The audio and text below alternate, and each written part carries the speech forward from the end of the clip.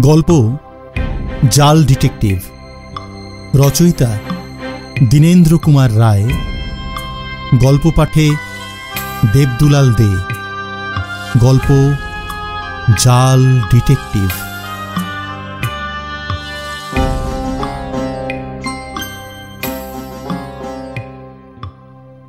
চাকরির উপর আজীবন কাল আমার ঘৃণা। বাবা বিস্তর অর্থব্যয় করিয়া আমায় কিঞ্চিত লেখাপড়া শেখাইয়াছিলেন। অনেক টাকা মূল্যে কয়েকখান মূল্যহীন সার্টিফিকেট ক্রয় করা গিয়াছিল। আমি বিয়ে। বাবার ইচ্ছা, আমি ডেপুটি ম্যাজিস্ট্রি পরীক্ষা দিয়া মফস্বলের দণ্ডমুণ্ডের কর্তা হইয়া বসি। ডেপুটিগিরির সুখ আমার জানা ছিল। একদিকে জেলার ম্যাজিস্টর অন্যদিকে সেশন জাজ এই দুই নৌকায় পা দিয়া অনেক ডেপুটির প্রাণ ওষ্ঠাগত হইয়া ওঠে। শ্যাম ও কুল এই উভয়ই মধ্যে মধ্যে অরক্ষণীয় হয়। বিয়ে পাশ করিয়া মুনসেফি লাভ হইতে পারে, কিন্তু আমার ততদূর উৎসাহ ও অধ্যবসায় ছিল না। তদ্ভিন্ন বহুমূত্র রোগটিকে আমি অত্যন্ত ভয় করিতাম। খাটিতে খাটিতে যে মুনসেফের বহুমূত্র না হয়, ঈশ্বর এই কলিযুগে তাহাকে নিশ্চয়ই মার্কেন্ডেওর পরমায়ু দিয়া পাঠাইয়াছেন। ওকালতির অনেক ঝঞ্ঝাট। আমি স্থির করিলাম, যাহাতে স্বাধীনতা আছে সেই রকম কোনো কাজে লিপ্ত হইব, বাণিজ্যে বশত লক্ষ্মী। আমি লক্ষ্মী লাভের আশায় বাবার ব্যবসায়ে যোগ দিলাম। বাবা তখন খান্ডোয়ায় তুলার কারবার করিতেন। কারবারে বেশ লাভও ছিল। আমি খান্ডোয়া হইতে বোম্বে যাইতেছিলাম। বোম্বের প্রসিদ্ধ গুজরাটি বণিক মানিকচাঁদ রতনচাঁদের সঙ্গে ভাগে সেখানে একটা এজেন্সি খুলিবার সংকল্প ছিল। ফাল্গুন মাসের রাত্রি। রাত্রি নটার পর মেল ট্রেনে আমি একটি সেকেন্ড ক্লাস কম্পার্টমেন্টে উঠিয়া পড়িলাম। ট্রেন ধূম্র উদ্গীরণ করিতে করিতে শত দ্বীপ দীপ্ত বক্ষে দক্ষিণ পশ্চিম মুখে ছুটিয়া চলিল। একটু শ্রান্তি দূর হইলে আমি গ্ল্যাডস্টোন ব্যাগটায় ঠেস দিয়া সেই প্রভাতের একখানি প্রয়াগী সংবাদপত্র পাঠ করিতে লাগিলাম। অ্যাংলো ইন্ডিয়ান মহাশয়েরা আমাদের নেটিভদের প্রতি যে একটু ঘৃণা মিশ্রিত ব্যঙ্গোক্তি প্রয়োগ করেন, তাহা উপক্ষণীয় হইলেও তাহার সহিত পরিচয় রাখা অকর্তব্য নহে। দেখিলাম, গাড়িতে আর দুইজন আরোহী রহিয়াছেন। দুইজনই মারাঠা যুবক। একজনের পাগড়িটা গদির উপর পড়িয়া আছে, মাথার চারদিকে সমান করিয়া কামানো। টিকিটা গোছা করা মস্ত লম্বা। চীনেদের মতো বেনি পাকানো নয়। বৃহৎ চন্দন চিহ্ন তখনও কপাল হইতে বিলুপ্ত হয় নাই। গায়ে একটা লম্বা কোট যুবক, একবার মুখ তুলিয়া স্বপ্নাবিষ্টের ন্যায় আমার মুখের দিকে চাহিলেন। নীল চশমার সোনার ফ্রেম উজ্জ্বল গ্যাসালোকে ঝকমক করিয়া উঠিল। তাহার পর তিনি পূর্ববৎ বাহিরের চন্দ্রমাশালিনী বা মধু যামিনীর দিকে চাহিয়া রহিলেন। আরেকজন যুবক সাহেবী পোশাক পরা। তিনি নিবিষ্ট চিত্তে একখানা ইংরেজি খবরের কাগজ পড়িতেছিলেন। বাঁশের সংক্ষিপ্ত সংস্করণের মতো মোটা একটা বিকটাকার চুরুট জ্বালিয়া জ্বালিয়া কুণ্ডলীকৃত ধূম উদ্গীরণপূর্বক সাহেবের সংবাদপত্রে মনোযোগের পরিচয় প্রদান করিতেছিল। লোক দুজন আমার সমবয়স্ক বলিয়াই বোধ হইল।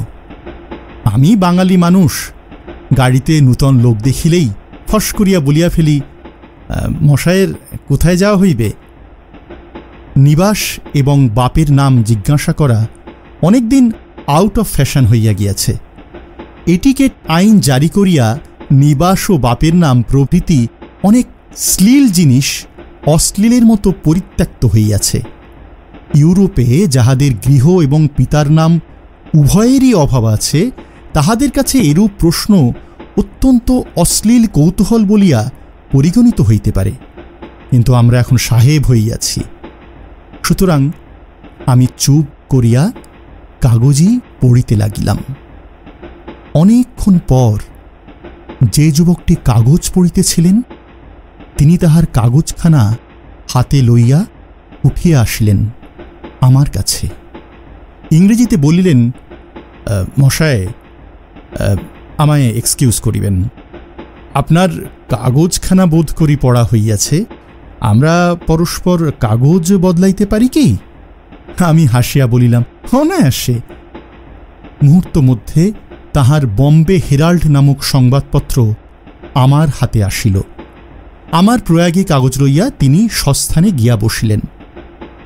কাগজখানা হাতে লইয়াই দেখিলাম, এক কোণে এক নীল পেন্সিল দিয়া ইংরেজিতে লেখা আছে, আমি বম্বের একজন ডিটেকটিভ। আমাদের অন্য সহযাত্রীটি বিট্টল রাও খারে। আপনি জানেন খারেকে তাহাকে গ্রেপ্তার করিবার জন্য বম্বের ওয়ারেন্ট রহিয়াছে কিন্তু সেখানে পৌঁছিবার পূর্বেই ইহাকে গ্রেফতার করা আবশ্যক। আপনার সাহায্যের প্রয়োজন হইবে, বরহাউপুরের রিফ্রেশমেন্ট রুমে এ সকল কথা হইবে। বিট্টল রাও খারে বোম্বের প্রসিদ্ধ জহরত ব্যবসায়ী সাপুরজি জাহাঙ্গীরজির দোকান হইতে বিশ হাজার টাকা দামের একখানি হীরক যে চুরি করিয়াছে। চুরি বাটপারিতে বোম্বে অঞ্চলে সে সময় কেহই বিট্টল রাওর সমকক্ষ ছিল না। আমার সঙ্গেও তো কিছু টাকা কড়ি ছিল। ভাবিলাম আচ্ছা বদমাইশের সঙ্গে এক গাড়িতে উঠা গিয়াছে। মনটা বড়ই অপ্রসন্ন হইল। কাগজে আর মনোসংযোগ করিতে পারিলাম না। দুই একবার বক্রদৃষ্টিতে বিট্টলরাওর দিকে চাহিলাম, প্রায় এক মাস হইতে সে সতর্ক পুলিশের চক্ষে ধুলি নিক্ষেপ করিয়া বেড়াইতেছে। তাহার সঙ্গে সঙ্গে যে ডিটেকটিভ ঘুরিতেছে, হয়তো সে তাহার কিছুই জানে না। কিন্তু তাহার চক্ষে চশমা মুখে একটুও উদ্বেগের চিহ্ন ধরিতে পারিলাম না। সংবাদপত্রে তাহার কথা লইয়া হুলুস্থুল পড়িয়া গিয়াছিল। এমনকি আমি যে দিনের কথা বলিতেছি, সেই দিনও বম্বে হেরাল্ডে তাহার সম্বন্ধে একটা প্যারা দেখিলাম। পুলিশের কর্তব্যকার্যে শিথিলতা দেখিয়া সম্পাদক মহাশয় অনেক আক্ষেপ করিয়াছেন। রাত্রি সাড়ে দশটার সময় ট্রেন স্টেশনে পৌঁছিল। পাঁচ মিনিট এখানে গাড়ি থামিবে। এখানে রিফ্রেশমেন্ট রূপে না জানি কি দায়িত্ব দায়িত্বভার গাড়ে পড়িবে। আমি ভারী চঞ্চল হইয়া উঠিলাম। গাড়ি প্ল্যাটফর্মে দাঁড়াইতেই সেই বম্বে হেরাল্ডখানা পকেটে ফেলিয়া আমি ভোজন গৃহে প্রবেশ করিলাম। অনতিবিলম্বে ডিটেকটিভ মহাশয় আমার সঙ্গে যোগদান করিলেন। ডিটেকটিভ যুবক অতি নিম্ন স্বরে বলিলেন, খুব সাবধান। যাহাতে আসামির সন্দেহ হয় এমন কোনো ব্যবহার করিবেন না। এখন পালাইলে তাহাকে গ্রেপ্তার করা কঠিন হইবে। ভুসোয়াল স্টেশনে বোধ হয় তাহার কোনো বন্ধু আসিয়া জুটিবে। সে জব্বলপুর হইতে টেলিগ্রাম করিয়াছে, আমি খবর পাইয়াছি। তাহা হইলে এখন কি করা কর্তব্য? আমি এই কথা জিজ্ঞাসা করিলাম। বদমাইশের দল বৃদ্ধি হইবার আগেই তাহাকে আটক করা দরকার। ট্রেনে উঠিয়াই ইহাকে বাঁধিয়া বেঞ্চির নিচে ফেলিয়া রাখা যাইবে। তাহার পর ভুসোয়ালে যদি কোনো বন্ধু আসে, তাহার গতিবিধির দিকে দৃষ্টি রাখিয়া আবশ্যিক হইলে তাহাকেও অ্যারেস্ট করিবার ব্যবস্থা করিব। আমি জানি না বামাল কাহার কাছে আছে। এই বামালের জন্যই আমাদের অধিক চেষ্টা। আমি বলিলাম যদি এ গাড়িতে অন্য প্যাসেঞ্জার ওঠে, তাহা হইলে তো আমাদের কাজের ব্যাঘাত জন্মিতে পারে। ডিটেকটিভ উত্তর দিলেন, এ গাড়িতে অন্য লোক উঠিবে না। আমি তাহার বন্দোবস্ত করিয়াছি, আর সময় নাই।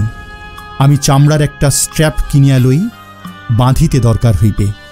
লোকটা ভারী জওয়ান, দরকার হইলে কিন্তু সাহায্য করিবেন। আমি হাসিয়া বলিলাম, অবশ্যই। ব্যাপারটা ক্রমে রোম্যান্টিক হইয়া উঠিতেছিল। এ যে একটা আস্ত একখানা উপন্যাস। ট্রেন ছাড়িবার ঘণ্টা পড়িল। আমরা প্ল্যাটফর্মে বাহির হইয়া আসিলাম। গার্ডকে জিজ্ঞাসা করিলাম, ট্রেন ভুসওয়ালে কটার সময় পৌঁছবে? গার্ড বলিল, বারোটা পাঁচ মিনিট। বুঝিলাম নিশীথে রাত্রে এই দ্রুতগামী মেল ট্রেনের মধ্যে উপন্যাসের আর এক পরিচ্ছেদ আরম্ভ হইবে। বিট্টলরাও প্ল্যাটফর্মে পদচারণা করিতেছিল। ট্রেন ছাড়িবার সময় গাড়িতে লাফাইয়া উঠিল। ডিটেকটিভ ও আমি উভয়ে তাড়াতাড়ি একবার দৃষ্টি বিনিময় করিলাম। আমার বুকের মধ্যে ধপ ধপ করিতে লাগিল। এখনই একটা ছোটোখাটো যুদ্ধ ব্যাপার উপস্থিত হইবে বলে মনে হইতেছে। আমি ভালো করিয়া বিট্টলরাও সর্বাঙ্গ দেখিলাম। জোয়ানটি বড় কম নয়। ডিটেকটিভ লোকটা ক্ষীণকায় আমিও তো তথই বচ। দুজনে তাহাকে পারিয়া ওঠা তো দুষ্কর। ট্রেন ছোটখাটো গোটা দুই স্টেশন পার হইয়া গেল। ডিটেকটিভ এক মনে খবরে কাগজ পড়িতেছিলেন। সহসা তিনি উঠিয়া দাঁড়াইলেন। পকেট হইতে একখানা রুমাল বাহির করিয়া মুখ মুছিলেন। তাহার পর জানলার কাছে আসিয়া এক লাফে বিট্টল রাওর উপরে পড়িলেন।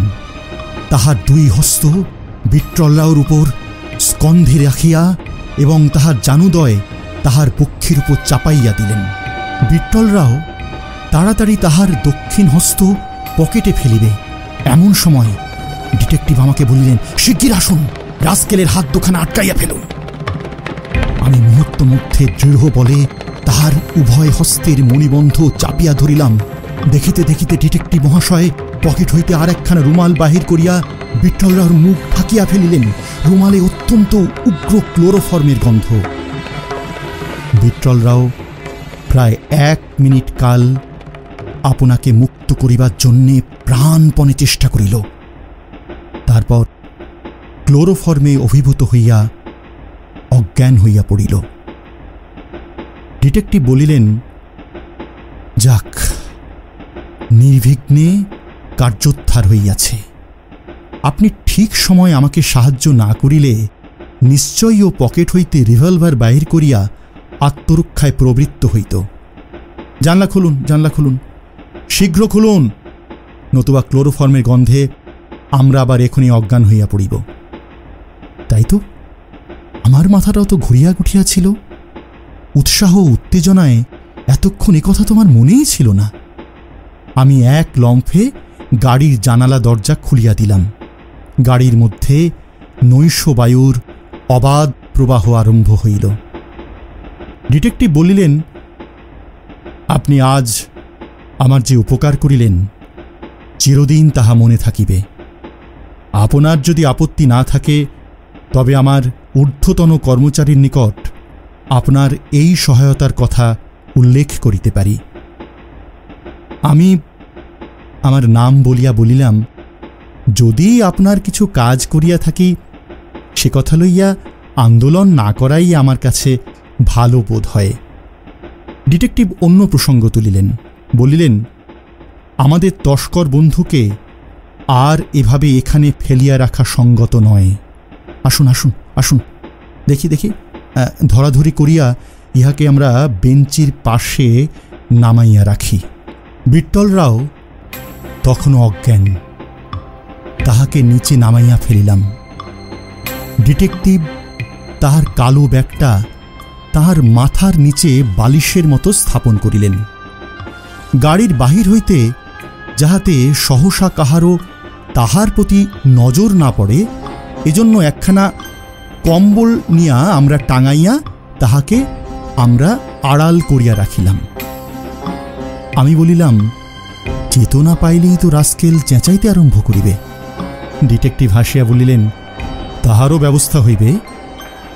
আমি উহার মুখ বাঁধিয়া দিতেছি। আপনার কোনো ভয় নেই। রাত্রি বারোটার পর ট্রেন ফুসওয়াল স্টেশনে পৌঁছিল। দেখিলাম প্ল্যাটফর্মে সকলের আগে একজন মধ্যবয়স্ক মারাঠা পুরুষ দাঁড়াইয়া আছে। ভারী জওয়ান, গাল পাট্টা, চোখ দুটো গোলাকার, দুটি ভাঁটার মতো। মাথায় প্রকাণ্ড পাগড়ি, সোনালি আঁচলটা স্টেশনের তীব্র আলোকে ঝকঝক করিতেছে। চক্ষের নিমেষে আমার দিকে চাহিয়া ডিটেকটিভ মহাশয় বলিলেন, এই সেই বিট্টল রাও যাহাকে টেলিগ্রাম করিয়াছিল, আপনি গাড়ির মধ্যে কিছুকাল অপেক্ষা করুন।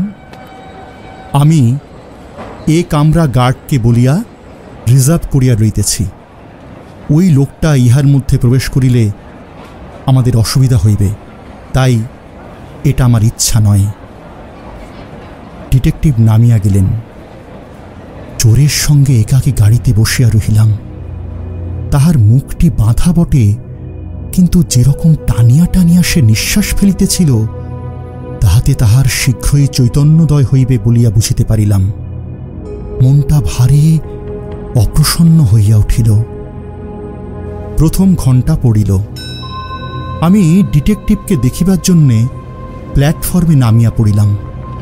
গার্ডের গাড়ির কাছে গিয়া তাহাকে পাইলাম না। এদিক ওদিক চার দিক খুঁজিলাম। লোকটার কোনো খোঁজ পাইলাম না। ঠং ঠং করিয়া গাড়ি ছাড়িবার ঘণ্টা পড়িল। গার্ড বাঁশিতে ফুঁ দিল। আমি দ্রুত বেগে আসিয়া গাড়িতে উঠিলাম। গাড়ি ছাড়িয়া দিল। এতক্ষণ দেখি নাই সেই জমকালো পাগড়িওয়ালা জোয়ান লোকটা এই গাড়িতেই উঠিয়াছিল। কি সর্বনাশ! সে এক লম্ফে আমার সম্মুখে আসিয়া দাঁড়াইল। আমার মুখের উপর একটা পাঁচ নলা পিস্তল উঁচু করিয়া ধরিয়া বলিল, স্থিরভাবে বসিয়া থাকো। নড়িয়াছ কি মরিয়াছ?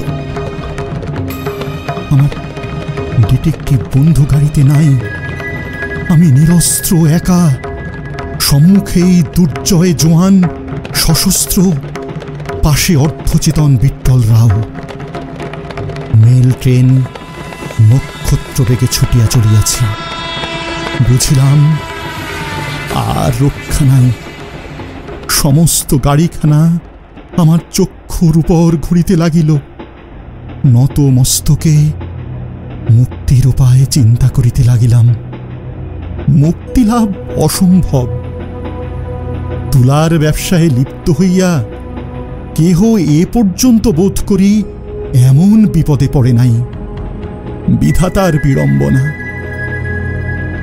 আমাকে চিন্তামগ্ন দেখিয়া আগন্তুক বিকট হাসি হাসিয়া বলিল, বৃথা চিন্তা, নিজে যে ফাঁদ পাতিয়াছ তাহারই মধ্যে পা পড়িয়াছে। এখন আমি যাহা বলিব, শুনো, অন্যথা করিলে মাথার খুলি এক গুলিতে উড়াইয়া দিব। আমার বন্ধুর মাথার দিকটা ধরো। তাহাকে উপরে তুলিতে হইবে। পলায়নের চেষ্টা কিন্তু একদম করিও না। আমি জড়ের ন্যায় তাহার আদেশ পালন করিতে লাগিলাম। বিট্টল রাওর চৈতন্যদয় হইল। সে শুইয়া শুইয়া দুই হাতে চক্ষু মুছিতে লাগিল। আগন্তুক বলিল কেমন আপাজি? বেশ সুস্থ হইয়াছ তো? আপাজি, কি বিট্টল রাওর আরেক নাম? আপাজি উত্তর দিল, এ, ভাস্কর, তুমি আসিয়াছ। বদমায়েশেরা কি ভাগিয়াছে না, একজন জালে পড়িয়াছে আর একজন সরিয়াছে। আপাজি উঠিয়া বসিল। তাহার পর জিজ্ঞাসা করিল এরূপে পলাইল? পালাইবে ভাবিয়াই আমি তোমাকে অনেক আগে লোকজন সঙ্গে লইয়া স্টেশনে উপস্থিত থাকিতে বলিয়াছিলাম। ভাস্কর বলিল, আমি প্রথমে তোমাকে দেখিতে না পাইয়া কিছু আশ্চর্য হইয়াছিলাম। সহজেই বুঝিয়াছিলাম বদমাস বিট্টল রাও, তোমার উপর কোনো রকম কৌশল খাটাইয়াছে। শেষে আমি যখন এই গাড়িতে উঠিয়া তোমার ব্যবস্থা এবং তোমার অবস্থা দেখিলাম, তখন বড়ই ব্যস্ত হইয়া পড়িলাম। ইত্যবসরে আসামি কিরূপে সরিয়া পড়িল বুঝিলাম না। তাহার সঙ্গী গাড়ি ছাড়িবার সময় আসিয়া আপনি ধরা দিয়াছে। আমার কপালে ঘর্মবিন্দু ফুটিয়া উঠিল। আপাজি কি বিট্টলরাও নহে? ইহাদের কথার কোনো মর্ম গ্রহণ করিতে না পারিয়া আমি হতবুদ্ধির ন্যায় বসিয়া রহিলাম। বুঝিলাম, ভিতরে একটা ভয়ানক রহস্য লুকানো রহিয়াছে। কিন্তু আর তো চুপ করে থাকা চলে না। আমি আমার সহযাত্রীদ্বয়কে সম্বোধন করিয়া বলিলাম, মহাশয়, আমি বুঝিতেছি, আমি কি একটা বিষম ভুল করিয়া বসিয়াছি? আপনারা কে? ভাস্কর বিদ্রুপপূর্ণ স্বরে বলিল, আমরা যেই হই, সে খোঁজে আবশ্যক? তোমার ভুল শীঘ্রই ভাঙিবে। তোমার নাম কি? অন্য সময় হইলে হয়তো এরূপ অভদ্র প্রশ্নের উত্তরই দিতাম না। কিন্তু তখন এ অপমানও পকেটস্থ করাই সঙ্গত বোধ হইল। আমি নাম ও নিজের ব্যবসায়ের পরিচয় দিলাম। ভাস্কর বলিল, ও তো গেল নকল পরিচয়, আসল পরিচয় দাও। দেখিতেছি তো, বাঙালি বিট্টলরাওর সঙ্গে কতদিন জুটিয়াছ? অনেক বাঙালি আমাদের এ অঞ্চলে আসিয়া কেবল নিজের মুখে কালি লেপিয়া বেড়ায়। তুমিও তাহাদের একজন। চোরামাল কোথায়? এবার আমার বড় রাগ হইল। বলিলাম, তোমাদের এই রকম অভদ্র আচরণের প্রতিশোধ দিতে হইলে জুতা মারিয়া গাড়ির বাহিরে ফেলিয়া দেওয়াই উচিত। ভদ্রলোকের কাছে চোরা মালের কথা জিজ্ঞাসা করিতে প্রত্যেক ভদ্রলোকেরই লজ্জা হইয়া থাকে। আপাজি বলিল, ভদ্রলোককে হঠাৎ ক্লোরোফর্ম দ্বারা অজ্ঞান করিয়া ফেলিতে ভদ্রলোকের লজ্জা হয় না? আপাজির স্বর গম্ভীর। আমি বলিলাম, সে ক্লোরোফর্ম তো আমি দিই নাই, ডিটেকটিভ দিয়াছিল। বদমাসকে বাঁধিবার জন্য আমি তাহার সাহায্য করিয়াছিলাম মাত্র। আমার বিশ্বাস প্রত্যেক ভদ্রলোকই এরূপ কাজ করিতেন? ডিটেকটিভ? কোন ডিটেকটিভ? আমার সহযাত্রী বন্ধু, যিনি জব্বলপুর হইতে আসিতেছিলেন, আমি বলিলাম হ্যাঁ তুমি যাহাকে আপাজি বলিতেছ, ডিটেকটিভ আমাকে বলিয়াছে সে স্বয়ং বিট্টল রাও। তাহাকে বাঁধিবার জন্য ডিটেকটিভ আমার সাহায্য লইয়াছিল। এখন তাহাকে পলাইতে দেখিয়া আমার মনে তো নানা সন্দেহ হইতেছে। আপাজি বলিল, জাল ডিটেকটিভ, সে নিজেই বিট্টল রাও। আমি তাহাকে গ্রেফতারের জন্য তাহার সঙ্গ লইয়াছি। চোরা মাল তাহার সঙ্গে আছে কথা আমি জানি। পথের মধ্যে একা গোলযোগ করিলে তাহা হাতছাড়া হইতে পারে বলিয়া আমি ভাস্করকে টেলিগ্রাম করিয়াছিলাম। পথিমধ্যে তোমার প্রিয় বন্ধু বোধ করি তাহা বুঝিয়া এই রকম করিয়া আমাদের চোখে ধুলা দিয়া পলাইয়াছে। যাহাই হোক, তোমাকে এখন প্রমাণ করিতে হইবে, তুমি প্রকৃত তুলার ব্যবসায়ী, জাল ডিটেকটিভের সহচর নহ। জাল ডিটেকটিভের সহস্তে নোট করা সেই বোম্বে হেরাল্ড তখনও আমার পকেটে ছিল। আমি তাহা বাহির করিয়া আমার সহযাত্রীদ্বয়কে সেই নোট দেখাইলাম। আপাজি বলিল, এ যথেষ্ট প্রমাণ নহে। তোমার নির্দোষিতার সন্তোষজনক প্রমাণ না দেখাইলে অব্যাহতি লাভের কোনো আশা নাই। তোমার ব্যাগ খোলো। আমি তাড়াতাড়ি ব্যাগ খুলিতে গেলাম। উঠিয়া ব্যাগটা হাতে করিয়া তুলিয়াই আমি, তাহা নিচে ফেলিয়া দিলাম। আমি বসিয়া পড়িলাম। আমার সর্বনাশ হইয়াছে। আমার ব্যাগটা জাল ডিটেকটিভ হাতে করিয়া সরিয়া পড়িয়াছে। তার ভিতর যে পাঁচ হাজার টাকার নোট ছিল। আপাজি, তীক্ষ্ণ দৃষ্টিতে আমার মুখের দিকে চাহিয়া আবার বলিল, একবার প্রতারণা করিয়াছ। দ্বিতীয়বার আমাদের চোখে ধুলি দেওয়া কিন্তু অসম্ভব। আমি বলিলাম, এ ব্যাগ আমার নহে, জাল ডিটেকটিভের। আমার ব্যাগটা সে কখন লইয়া সরিয়া পড়িয়াছে আমি দেখি নাই। তাহাতে পাঁচ হাজার টাকার নোট রইয়াছে। বাবাজি বলিল, এ তো বিট্টল রাওর ব্যাগ। দেখি, সে তৎক্ষণাৎ একটা রিং সন্নিবদ্ধ একতাড়া চাবি বাহির করিয়া তাহার একটি দিয়া ব্যাগ খুলিয়া ফেলিল। কতকগুলি কাগজপত্র উল্টাইতেই সেই চোরা হীরকখণ্ড বাহির হইয়া পড়িল। তাহাতে গ্যাসালোক রশ্মি নিপতিত হইয়া আমার ভীতি বিস্ময়ে সমাকুল চক্ষে প্রতিফলিত হইতে লাগিল। আমি স্তব্ধভাবে বসিয়া রহিলাম। ব্যাগ বদলানোটা বিট্টলরাওর জ্ঞাত স্বরে। কি অজ্ঞাত সারে হইয়াছে, আমি বুঝিতে পারিলাম না। বম্বে আসিলে আমাকে লইয়া পুলিশে একেবারে টানাটানি করিয়াছিল। সহজেই আমার নির্দোষিতা প্রমাণ হইল। বিচারক আমার বুদ্ধিবৃত্তির প্রতি অশেষ দোষারোপ করিয়া আমায় মুক্তিদান করিলেন। তাহার পর বিট্টলরাওর আর কোনো সন্ধান পাওয়া যায় নাই। যথাসময়ে সাপুরজি জাহাঙ্গীরজি তাহার হীরক ফিরিয়া পাইলেন, পাঁচ হাজার টাকা খোয়াইয়া আমার কেবল কাদা মাখাই সার হইল।